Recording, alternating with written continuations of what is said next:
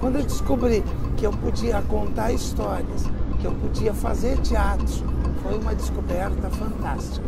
Depois, quando eu entrei na Faculdade de Artes Cênicas, eu tive um professor que me apresentou um conto do Malbataan, O Castelo Amarelo.